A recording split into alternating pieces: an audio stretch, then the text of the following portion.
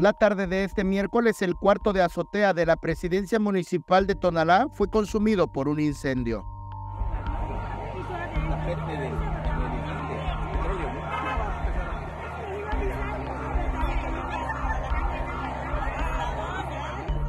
Ante la emergencia, Protección Civil Municipal activó un protocolo de atención. De acuerdo con los primeros reportes, habría sido una falla eléctrica la que provocó el incendio.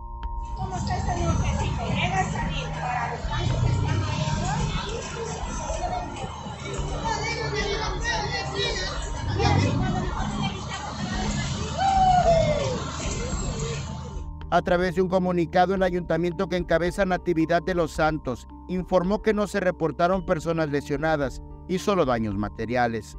Trascendió que el fuego consumió partes de aires acondicionados y documentación de pasadas administraciones. Eric Ordóñez, Alerta Chiapas.